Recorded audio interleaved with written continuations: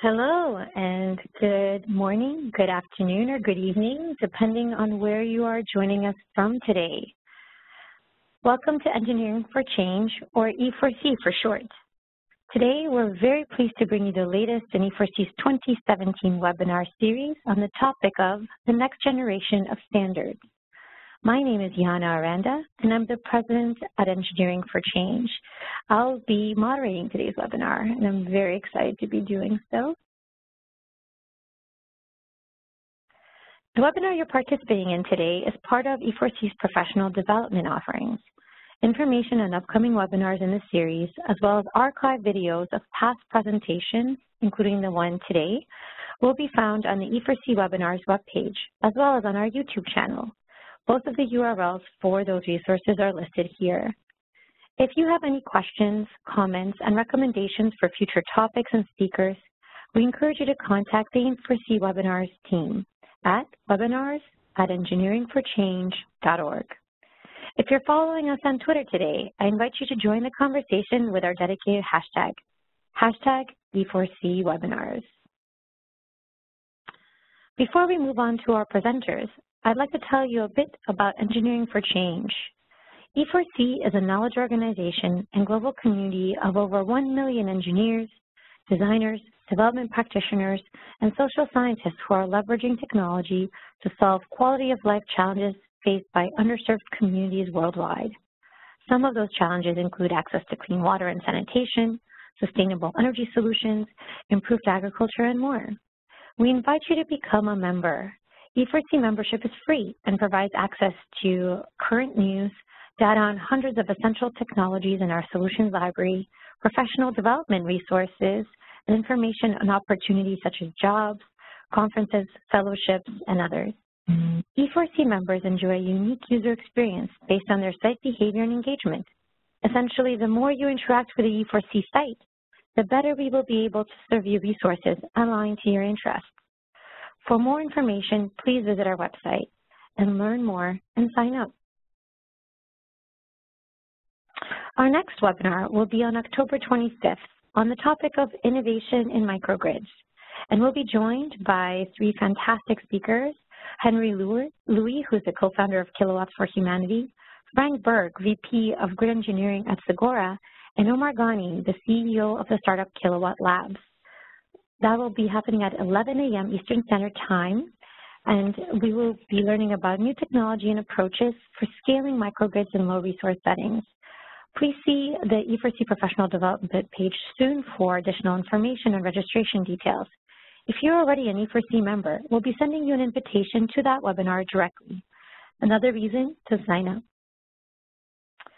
So, a few housekeeping items before we get started. Let's practice the using the WebEx platform by telling us where in the world you're joining us from. In the chat window, which is located at the bottom right hand of your screen, please type your location. If the chat is not open on your screen, try clicking the chat icon on the top right hand corner of the WebEx platform. All right, so I'll get us started here. And oh, there we go. We already have some folks answering. All right, so I'm here from New York. We have folks from Michigan, Ohio, Indiana, Alaska. Well, that's pretty far. Uh, farther still, Wales. Well, thank you so much for joining us, and I encourage everybody to share your location. Welcome to everyone from all over these states and beyond.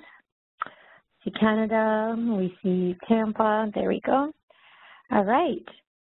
Use the chat window to share remarks during the webinar, speak with your fellow attendees, and uh, share any insights you may have.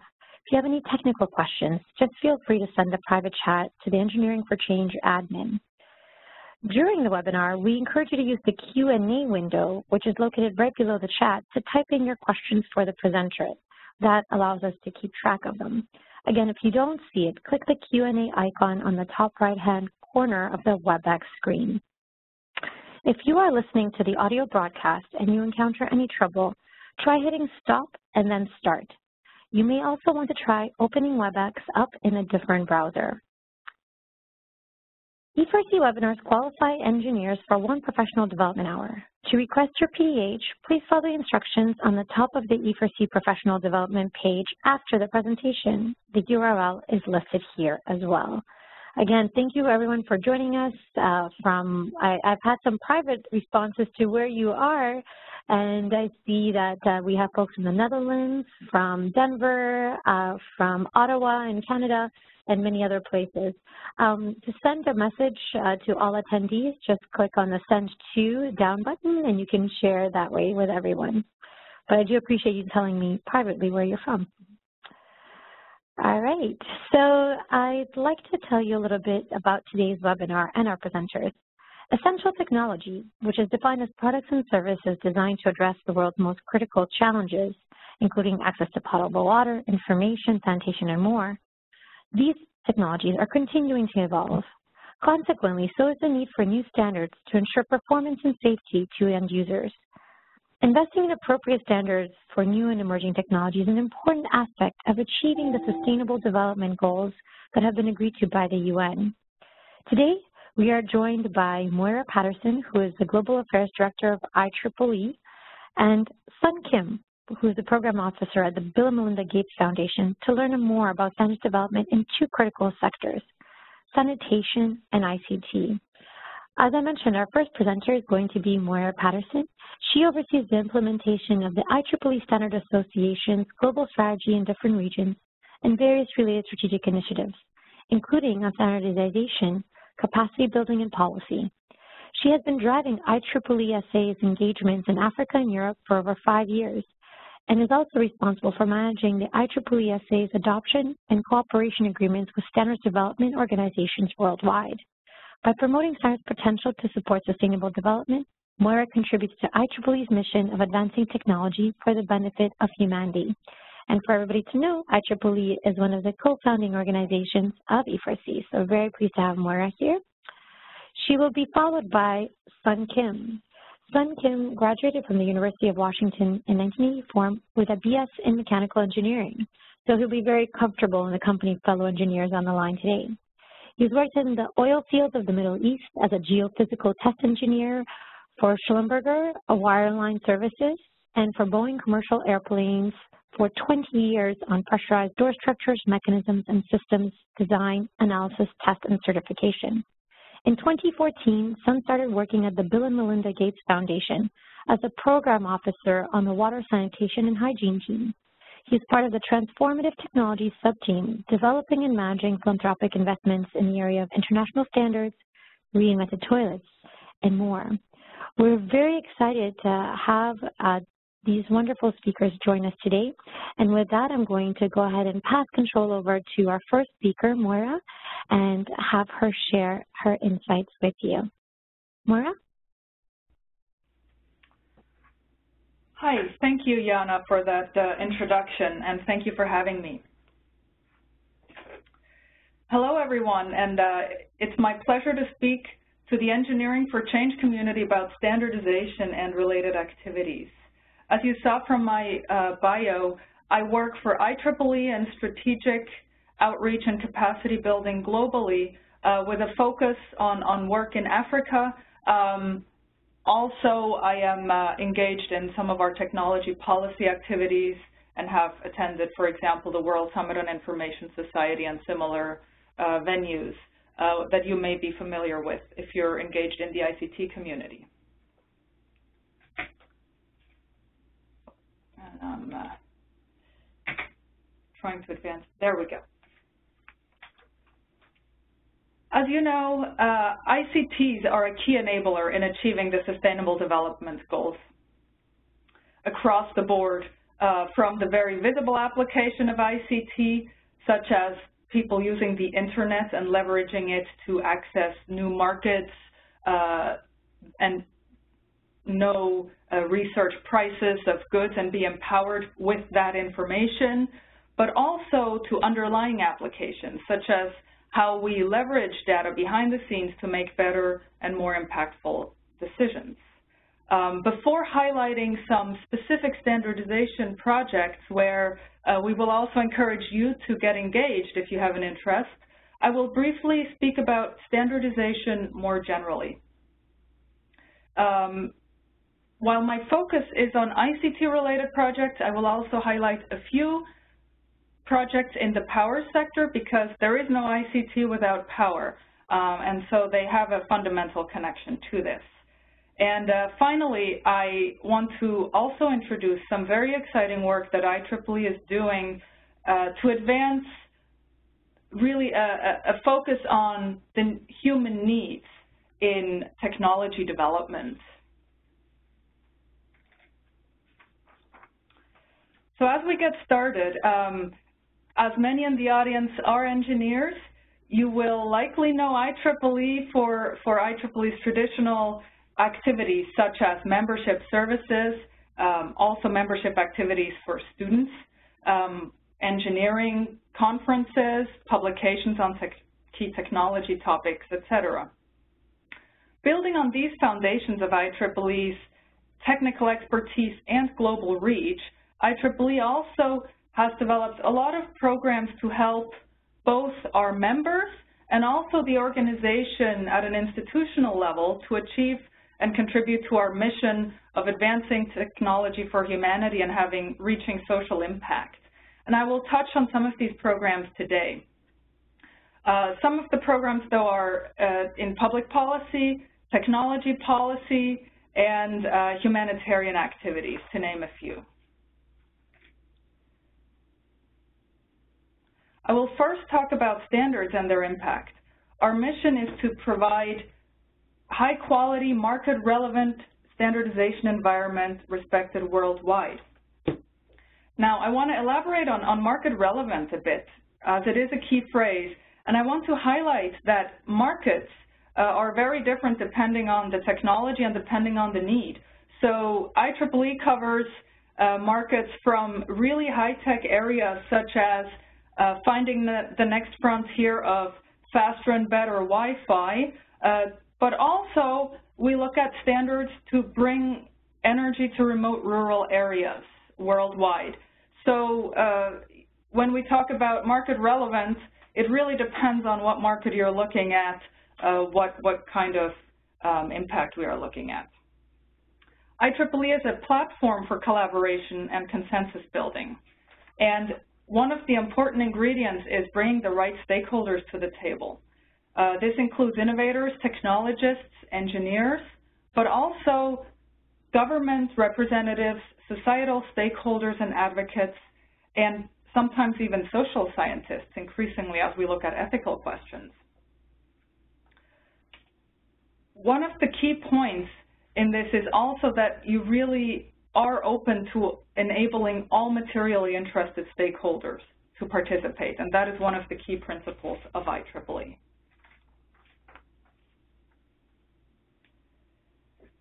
Some key attributes of standardization is having clear documented and transparent processes. The WTO has outlined some key principles for standardization, and these principles are, are globally accepted. Um, an open stand uh, is a group of internet-related standards organizations who have also articulated similar uh, principles.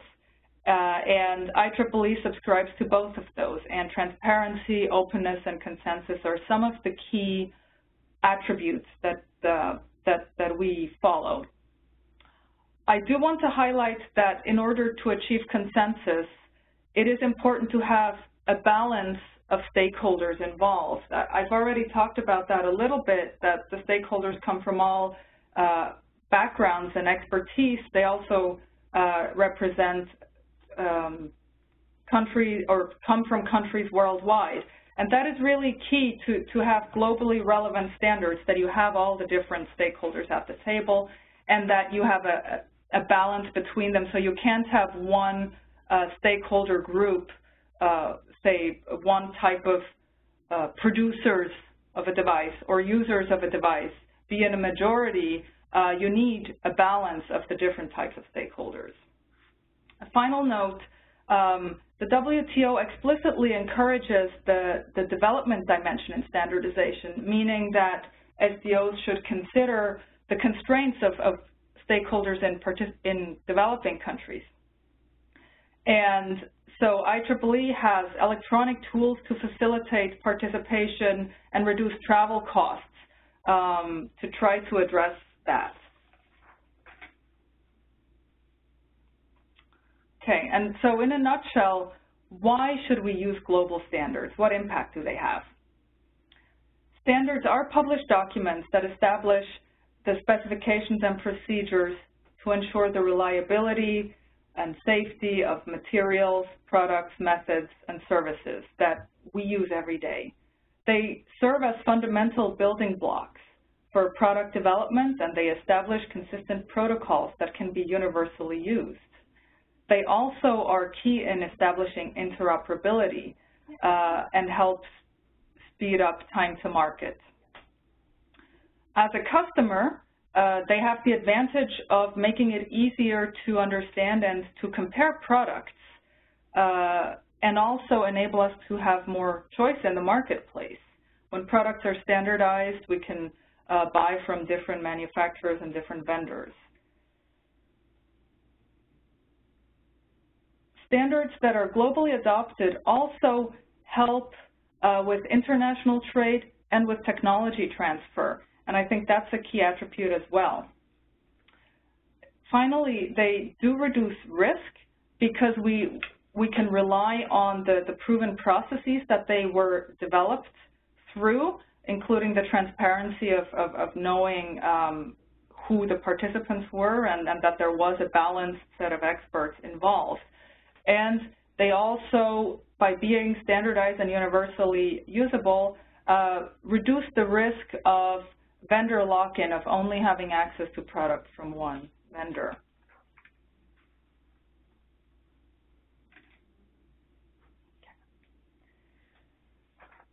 And then I will also briefly introduce conformity assessment which is the process and processes that we use to demonstrate that a product or service meets uh, the specified requirements that are outlined in a, in a standard or in a test plan. Such conformity assessment uh, provides manufacturer a method to demonstrate compliance to the requirements. It empowers the end user to make better purchasing decisions knowing that a product has been certified um, and so it also helps the supplier get their products to market more quickly. And in the end, it helps a technology marketplace to grow more quickly. And it reduces the, the barriers to the adoption of a technology. There are different types of conformity assessment. Uh, the, the three types are first-party self-declaration, whereby uh, the supplier does their own testing and declares compliance. Uh, second party, where the purchaser does the testing. And third party, where a third party independent body conducts the testing. Um, the choice of which type of testing to follow uh, will of course be made by the supplier and can take into consideration various factors including time to market, cost of the, the testing tools, and also what level of uh, end buyer confidence that they want to inspire.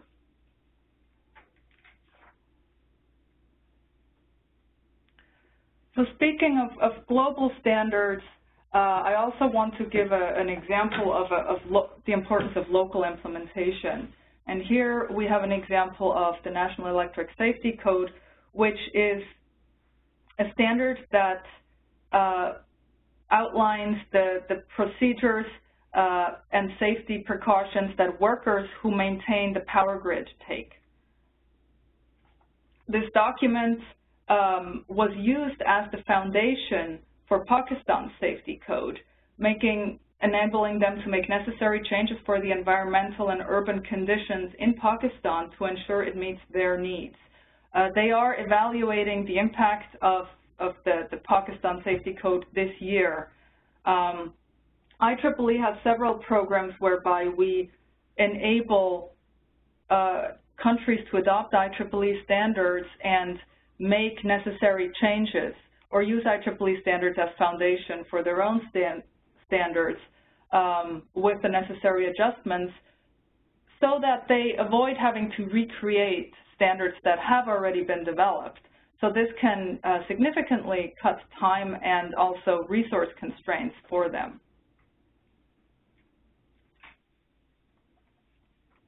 So now to a few projects that are currently undergoing and where we would really welcome interested experts to get engaged. And so first I'll talk briefly about TV white spaces. And of course, this is uh, such a interesting and important topic in, in development that uh, E4C recently had a webinar on this topic alone. Uh, I will just highlight here that IEEE has a standard in this space. Uh, it's called 802.22, and uh, it really um, takes advantage or uh, standardizes this technology, which helps bring connectivity to rural areas where there is low population density and low um, incentive to build out uh, infrastructure. So leveraging this technology using the, the free TV white spaces is very beneficial. Uh, this standard um, is undergoing a revision whereby the existing amendments are being rolled into the, the actual standards document so that it will be one document only. And um, there is a related project actually in an earlier development stage, 802.22.3, which is focusing on specifying operating characteristics of components of spectrum characterization and occupancy sensing systems. This uh, new standard is developed, being developed in response to the U.S. and British regulators uh, opening up more spectrum for sharing approaches. And uh, the working group is uh, developing a draft uh, or has developed a draft that they are already uh, refining, um, but there are still opportunities to get engaged if that topic is of interest. A related topic is Frugal 5G, and this is a pre-standards project where they are looking at developing low-cost wireless backhaul uh, that we call Frugal 5G for connecting the unconnected. We see that the propagation characteristics are appropriate uh, and will not require expensive infrastructure such as high towers and alternate solutions can be based on technologies such as the IEEE 802.11 or millimeter wave technologies. Um, this project is being led by Professor Karandikar uh, in India.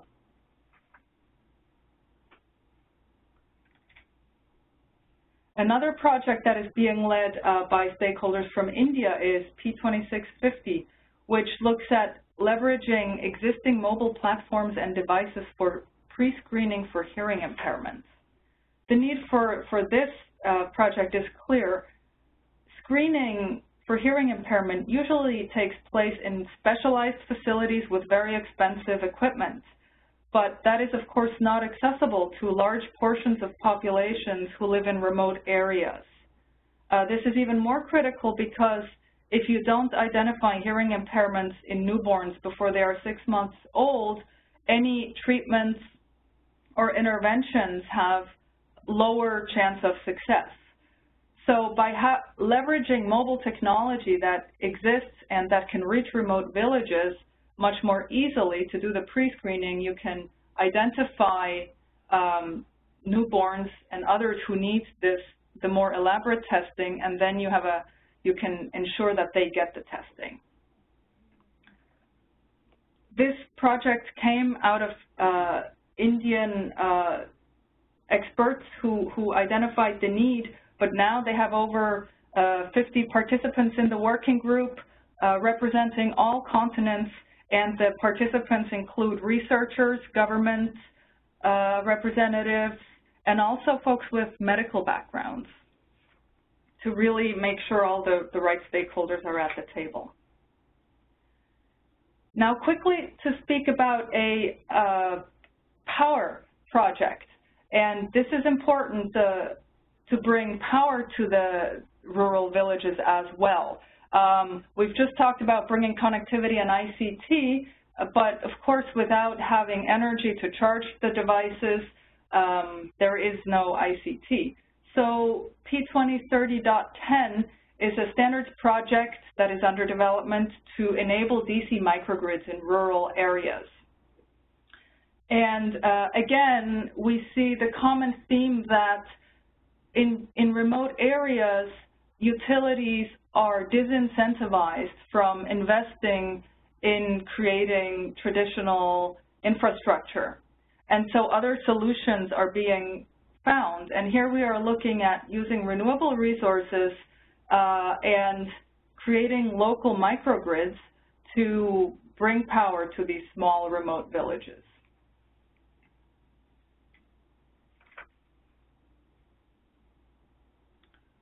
A related standard is 1547, which looks at integrating um, renewable resources into the grid.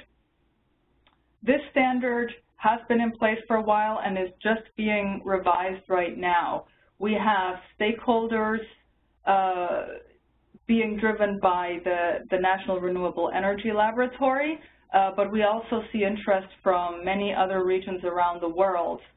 In fact, this standard is being adopted in Ghana right now, where the, uh, the grid operators saw the need to have a standard to integrate renewables into their grid. We are also partnering with Strathmore University in Kenya on a pilot for a conformity assessment test uh, related to this standard. So we see great potential and interest in this standard and the related conformity assessments uh, in many developing countries as well as in developed countries.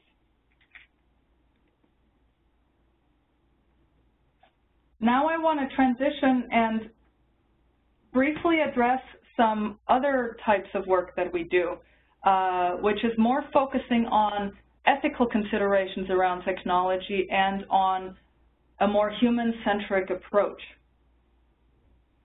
We have a, a group called the IEEE Global Initiative on Ethical Considerations in the Design of Artificial Intelligence and Autonomous Systems. And that initiative is developing a lot of different outputs. Um, they have a book that they've developed. You see the image on this slide where they have 13 different work streams where they are really addressing um, all the different themes from public policy and other implementation considerations that need to be addressed to look at this. Another deliverable that they're working on is standards, and I, am highlighting one, P7010, that is one standard in a series of, of, of 11 standards at this point. But this one highlights the need to put um, human well-being uh, first. So when we look at technology, we shouldn't just look at, at GDP growth, but we also need to look at human well-being. One example that we often hear is that GDP may go up during a traffic jam because we are uh, burning gas, but human well-being certainly is not going up in such a situation. So uh, this standard is, it's a new project, and we welcome uh, any new participants who are interested in this. And as I said, there are many related activities. Similar, we have uh, a, a pre-standards activity to look at digital inclusion through trust and agency. And really, with the growing need for digital identities uh, and doing things online, we need to look at how can we um, empower people to have to have control over their digital identity and to choose how and with whom to transact. Um, with this project, we are also proactively reaching out, again, to underserved communities because they need to have a seat at the table to help identify the needs and find solutions. Another similar project is focusing on our identities and on um, digital citizens in the smart city, again related to data and, and huge amounts of data and connectivity, and we need to find integrated solutions. Um, in this project, they are looking at doing a test bed to actually start testing some solutions as well. And then finally, the theme of digital literacy. Uh, in order to be able to take advantage of the ICT, uh, the access to ICT that is provided, people need to understand how to use it. And we have just initiated a pre-standards project, again, looking at um, how to promote digital literacy, bringing together the right stakeholders, including um, advocates for digital literacy, including providers of uh, services, and identify how we can promote digital literacy to all stakeholders around the world, including underserved populations. And then I just wanted to highlight a very exciting project on the same topic. This is uh, a SIGHT uh, group that IEEE has. It's a special interest group on humanitarian technology in Tunisia, and they are not developing standards, but they are doing digital literacy training in schools in Tunisia in a hands-on manner. So I wanted to just highlight that IEEE also has more hands-on activities that people can engage in. We have such SIGHT groups around the world in many different countries. So I know I've covered a lot of projects and a lot of activities. Uh, I have some further reading here. The first few links will help you identify the status of the projects that I've mentioned. Uh, and then at the very end, the last link is Standards University, and it uh, provides resources on what are standards. It's targeted both at academia and students, but also at other users of standards. So I encourage anyone who wants to learn more to look at that.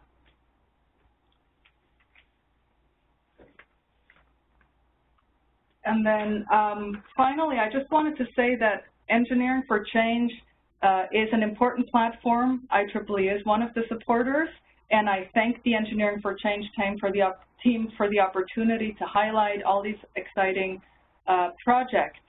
And I invite everyone to work with IEEE on ICT standards and other activities that take a human-centric view of technology development.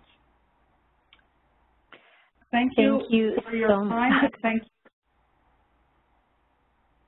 Thank you so much, Moira. Apologies, and um, thank you for uh, taking the time to share these exciting initiatives with us. Um, with that, I'm going to uh, pass over the slide control to our next presenter, um, Sun. Um, whenever you're ready, we're ready for you. Great, thank you. Um, can everybody hear me? Loud and clear. Great, thank you. Let's see, I'm trying to advance the slide here.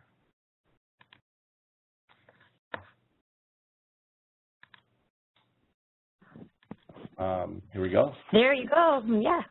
Great. So my name is Sun Kim, and um, I'm a program officer here at the uh, Bill and Melinda Gates Foundation, and it's a pleasure for me to be here and to um, to be able to share this, uh, some of the work that we're doing. Um, I'll start with uh, talking about the Bill and Melinda Gates Foundation just real quickly, and then uh, the work we're doing on sanitation for the poor, uh, and then also the role of standards. And as Moira just mentioned, um, you know, the many benefits of standards, and um, and you know, it's one um, one element of a, uh, of a, a commercial opportunities and, and we fundamentally believe that it is through the commercial activities, excuse me, commercial activities that um, we can scale up um, uh, potential solutions uh, to benefit the many.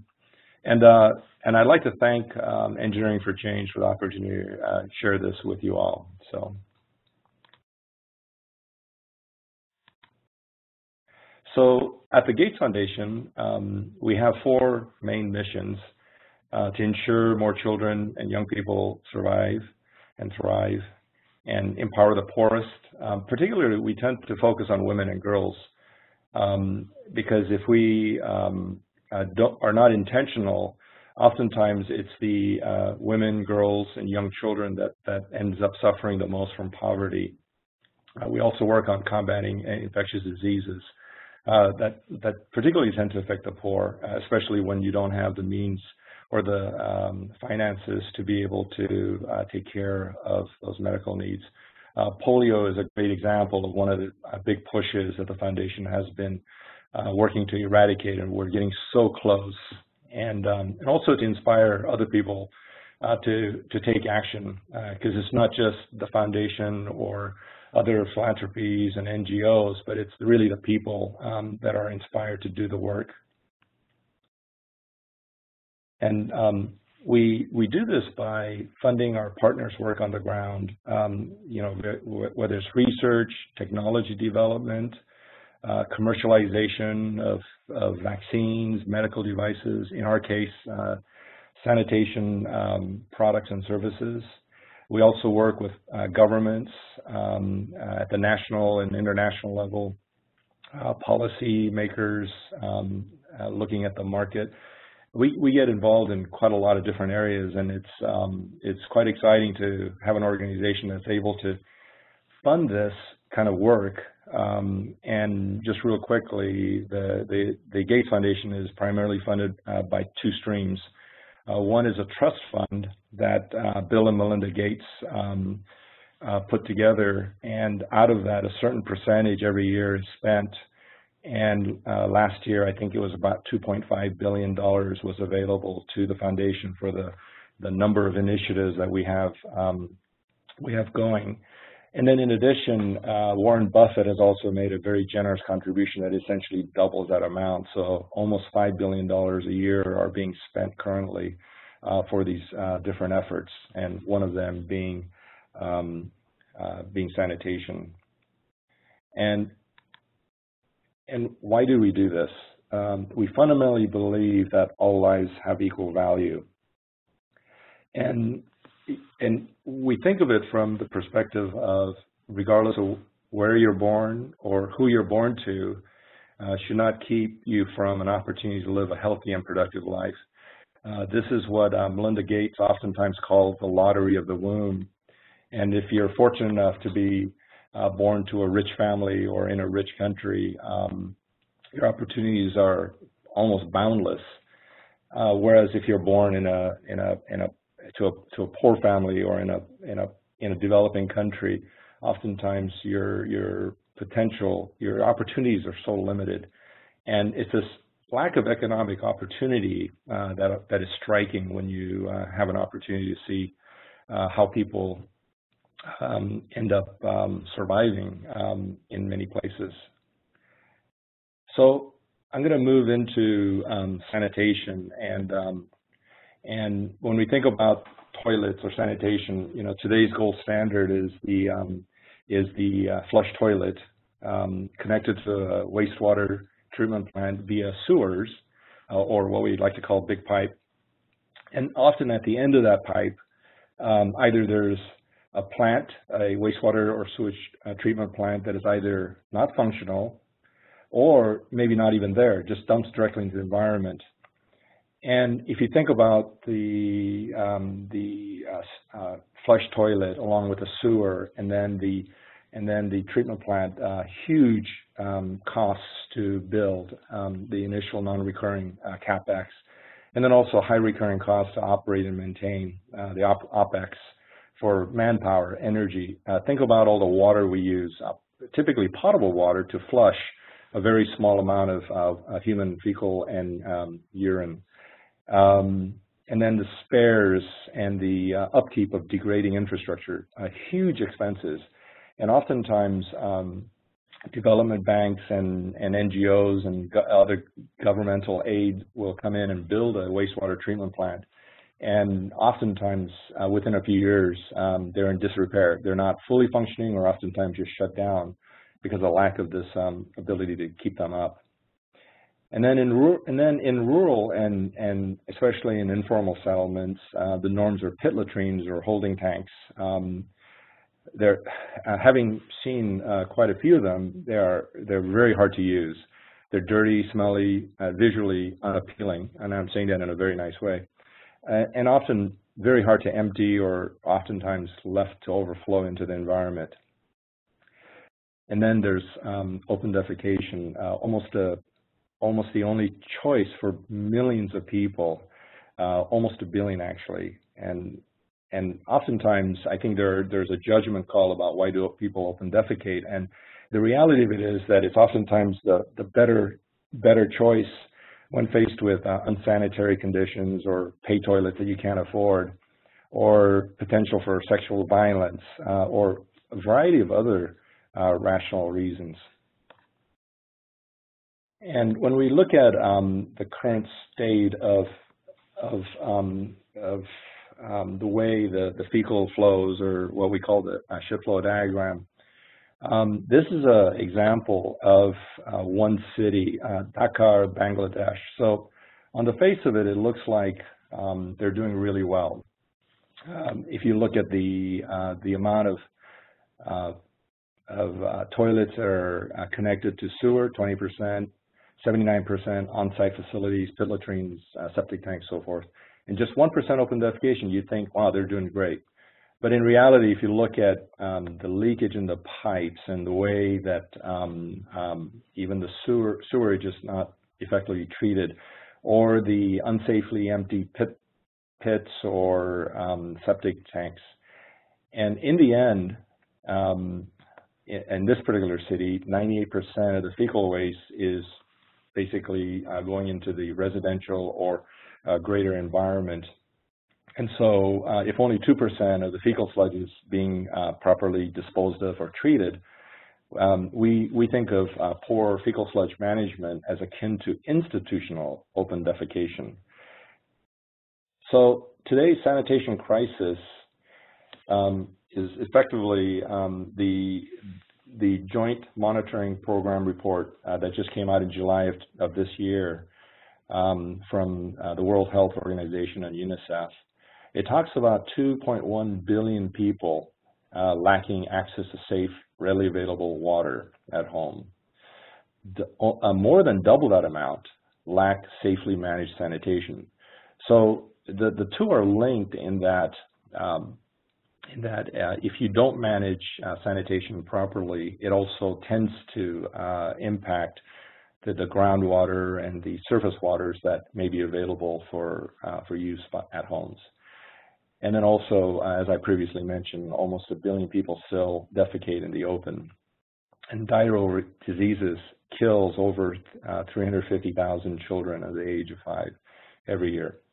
And, and it, again, it impacts women and girls particularly. Um, and if one were to be able to resolve the sanitation crisis, um, it would actually uh, provide freedom for, for women and girls that are imprisoned by daylight. In many cultures, the only time available for women um, uh, to go and defecate is after dark. So you basically end up not drinking, not eating, um, and holding, uh, which is very unhealthy un until uh, privacy is afforded by light, uh, by darkness. Um, also impact of schools, uh, especially when uh, girls start to menstruate and the inability to take care of themselves properly when there's no facilities. Uh, the burden of, of caring for the sick oftentimes falls on women and girls. And pregnant women are, are particularly uh, impacted by uh, diseases such as hookworm. And when we think about standards, um, you know, almost 200 years ago, Sir Edwin Chadwick I was promoting plumbing regulations in England. Um, in London, they were um, uh, basically swimming um, in their own feces and and diseases were pronounced. And this basically uh, unlocked the the modern sewer technology. But even then, uh, the sewers were basically just uh, uh moving uh, the sewer downstream, and um, and of course, subsequently, treatment plants have come into into place um, and when we think about standards, uh, we approached it in a three-tiered manner. So the foundation worked directly with TÜV SÜD um, and also started working with um, ANSI for, for ISO standard, but the initial work was to create um, a private standard for the uh, sustainable non-sewer sanitation systems. And it defined the requirements from the perspective of uh, pathogens, environmental uh, requirements, as well as uh, aesthetics and smell and, and, noise to make, make these uh, future systems um, appealing and aspirational. And the, uh, the private standard was then the basis for the ISO International Workshop Agreement. IWA 24, which published um, uh, subsequent to the private standard. And it was the um, it was the led by American National Standards Institute or ANSI, and it's an international consensus guideline document uh, via individual experts from all over the world. And uh, we had great participation in the writing of this um, this document. And, um, and in fact, this particular document was used by the uh, CNTA, the China National Tourism Administration's um, request for proposal for more than 30,000 new toilets. I think there's a realization that when people go on, on a, uh, to a tourist site, uh, they expect some level of, um, of um, cleanliness and aspirational toilets. Then the IWA was used in turn for the development of the current ongoing ISO uh, 30500, excuse me, through Project Committee uh, 305. Uh, this is also led by American National Standards Institute with a twin secretariat in from Senegal, the Association Senegalese de Normalisation. Uh, it is their, uh, it is Senegal's equivalent to US's uh, ANSI. And this one, the, the, the ISO 30500 um, will be a, a standard for the non-sewer sanitation system. Um, and it is, uh, by process, a international consensus via participating nations, uh, not individuals, but it is through each individual nation's um, national standards bodies um, that this, is, this work is done and it is a consensus document. And uh, what's really great is that there's a high level of participation of developing countries, and uh, that's based on the work of uh, the uh, American National Standards Institute, as well as uh, the Association of Senegalese Normalization to reach out to a number of um, sub-Saharan African nations and also um, great participation from Asian countries. Um, you can see that there's also great participation from uh, North America and Europe as well. Um, but we really did want to make sure that there were, uh, was great um, participation in developing countries. Uh, the ISO 30500 uh, is scheduled to publish end of 2018. Um, but of course, that depends on uh, how well the, uh, the, the, the subsequent meetings go. So when we think about the future toilets, um, we're, we're, talking about non-sewer sanitation um, where it is not um, uh, connected to any sewer or treatment plants at the end. Uh, it would all be accomplished, we call it the front end and the back end, and the actual um, elimination of pathogens, um, reduction in environmental um, uh, pollutants, uh, operating off-grid, um, and also uh, having low life uh, cycle costs as well as uh, being being aspirational, being attractive. Um, all of the processing would be done in situ. And our, our goal, our internal Gates Foundation goal is, is that once these fully scale up, that these would be affordable even by um, the, uh, the poor in developing countries. I mean, you'd be astounded um, that cell phones, uh, cell phone technologies that 20 years ago, most of us in developed countries could not afford uh, are now readily available. And in these developing countries, um, I'm not aware that anyone is uh, waiting for the government or a company to or utility to string a wire so that they can talk to somebody either across town or um, around the world. It is cellular technology is is a transformational technology, and we're looking to uh, these types of toilets, these aspirational toilets, to be similarly um, low in cost and also uh, effective.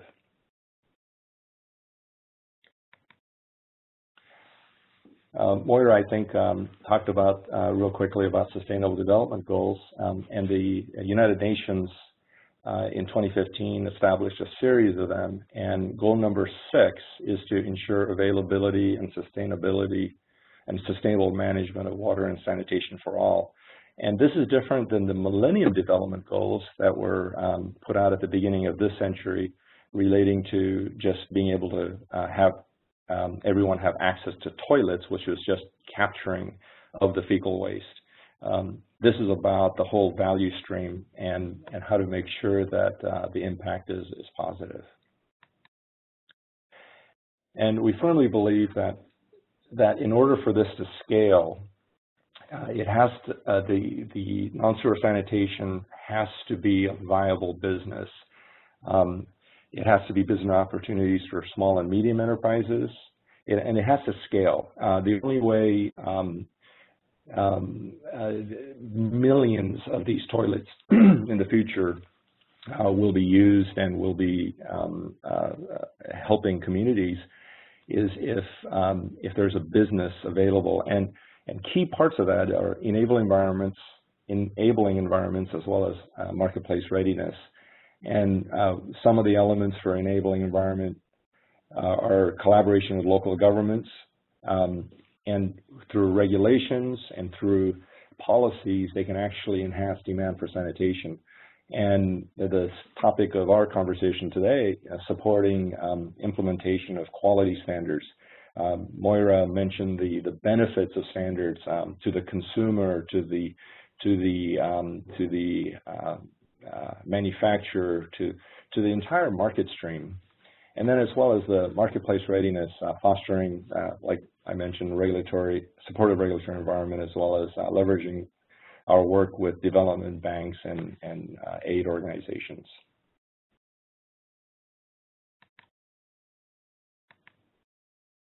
These are just some examples of um, reinvented toilets um, that that uh, universities and other organizations have been working on. Uh, from the upper left-hand corner, Research Triangle Institutes uh, gasifier system, uh, University of, uh, or Cranfield University's nanomembrane toilet systems in the upper middle. On the upper right, uh, that's Caltech's system, which is an electrochemical system. And then the one below that is a Kohler. Kohler is known for whiteware and, and genset development, gensets, and they built a unit using the California Institute of Technology's technology um, and attached it to, an to some apartment buildings in India as test. Uh, to the left of that is the University of Toronto's uh, smoldering toilet, and then the, the what we call the the water water world water wall. Sorry about that. Um, uh, from uh. And then lastly, um, Loughborough University's uh, hydrothermal carbonization toilet. And these are all in different stages of prototyping and uh, commercial um, commercial development. And in the end, um, you know, the, reason we're we're working uh, on this and many many other um, areas is uh, we envision a world where every person has the opportunity to live a healthy and productive life. So with that, thank you very much. Thank you so much, Sun. Uh, this was a very rich and uh, close to home hitting presentation. And as a graduate of University of Toronto myself, I'm actually pretty excited to see that U of T is in the running with one of these uh, new prototypes. So with that, um, we are arriving at the Q&A portion of, of the webinar. Um, I encourage everybody to enter their questions into the Q&A window so we can go ahead and address them with our speakers. Um, just to get the ball rolling, uh, I wanted to find out from both of you if you could speak to um, obviously the nature of the standards development process is quite lengthy, and I wanted to hear from you. Are there alternatives to standards for ensuring quality? What are some examples that you can share?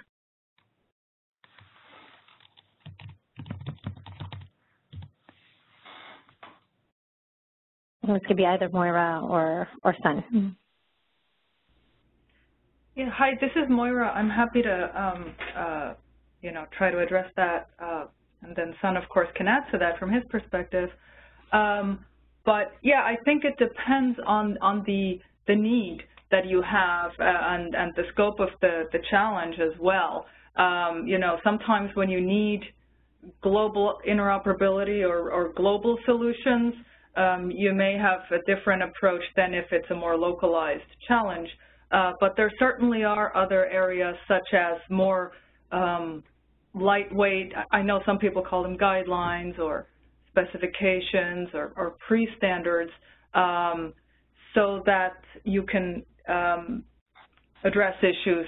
I highlighted a few pre-standards activities that IEEE does where we enable people to come together and you know, maybe develop white papers to address challenges or, or come up with solutions in that way. Uh, you don't have that same process with, you know, that same um, guarantee of how it was developed, but it can certainly help you come up with good solutions. And then just one comment on, on standards being lengthy, uh, I think that is often also related to uh, the degree of consensus that you have when you start the work.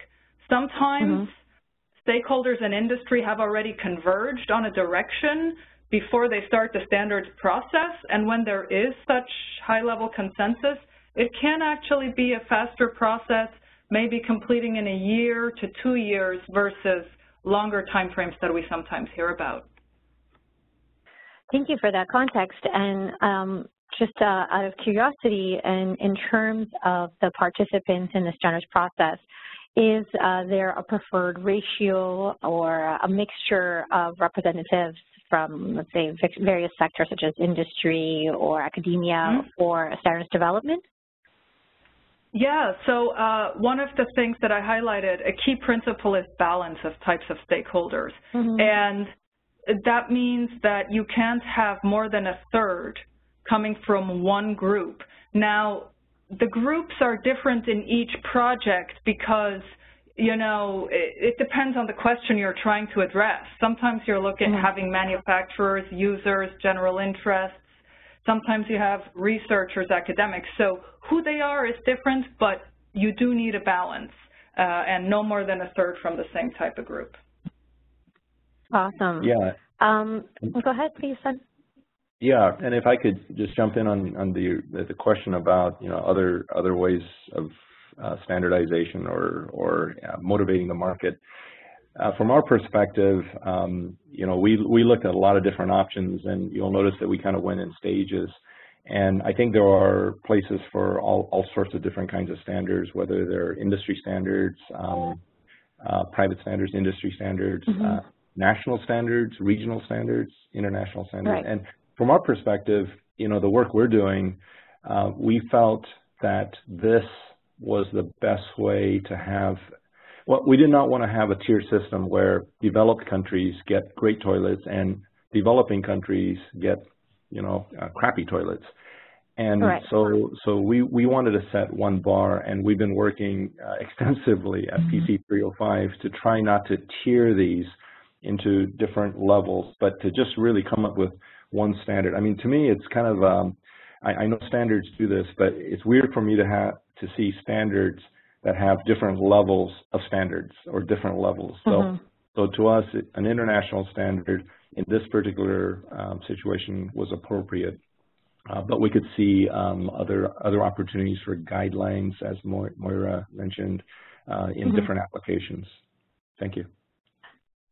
Thank you. Uh, a question that actually come in on our website ahead of the presentation and I, I found uh, interesting and uh, could be controversial uh, was asked regarding access to standards themselves. Often standards uh, are, uh, to use them to access the information, you have to pay. In terms of standards that are addressing these essential needs, is there a construct relative to payment? Is there anything that you could share and, and help to enlighten us on that? Yeah, if, if I'd jump in there because um, we we at the Gates Foundation um, typically uh, anything that's done at uh, by research universities or, or even companies, um, we ask um, uh, that research uh, be published in peer-reviewed journals and be open access So that's a fundamental belief that we have that, you know, for global good, we, we want the information to be shared. But we also recognize that, that these standards are, are created um, by a consortium of individuals who are volunteering their time and that that uh, whoever owns the standard has the the, the copyright. Um, we mm -hmm. are we are very interested in in having wide dissemination. So we have been working with um, with our partners to figure out ways of either pre-purchasing blocks of standards. Uh, but but it's a it's a great question. Um, we we agree with it with with the premise of that question, uh, and we're working towards um, you know, it, it, will not be the majority of standards, um, but um, but we think there are some opportunities. So we are working on that. Thank you. Moira, yeah. anything you want to add? Mm-hmm. Yeah, sure. And I, I think uh, similar to what Sun said, I think, and I appreciate that Sun uh, also acknowledged the challenges of um, we have to fund the, the development in a manner it, somehow, right? And uh, the sale yeah. of standards is part of that. But we do also see um, that it is important to make standards as widely available as possible. And we are looking at different options. IEEE more broadly has open access uh, type um, activities and open source activities as well. One program that we have is called the GET program, and we try to encourage stakeholders or potentially funding agencies to uh, offset the cost and to make standards available. Um, for example, the 802 standards, which include Wi-Fi and Ethernet, um, mm -hmm. you know, they have decided to, to, to do that funding so that their standards become available for free six months after publication. And other groups of standards, this happens as well, and we could envision that, you know, we can work with uh, stakeholders to try to come to an arrangement and, and make that happen. Thank you. That that's very interesting, and it's great to see that there are already pathways for ensuring accessibility to these essential standards.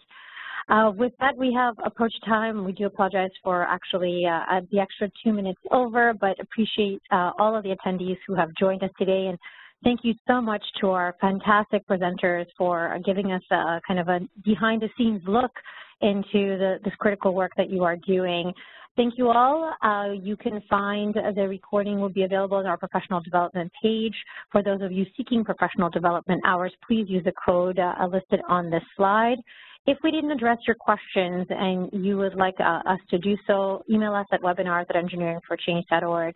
With that, I will wish you all a good morning, good evening, or good afternoon, depending where you are, and encourage you all to join us as E4C members to get information on our upcoming webinars.